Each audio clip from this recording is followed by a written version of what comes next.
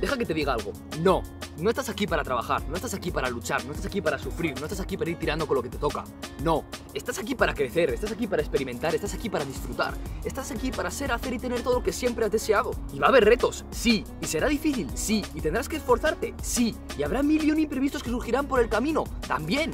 Pero solo recuerda que la vida es un 10% lo que nos pasa y un 90% cómo lo interpretamos y lo que hacemos al respecto. Así que dime, ¿y tú qué vas a hacer con tu vida? apa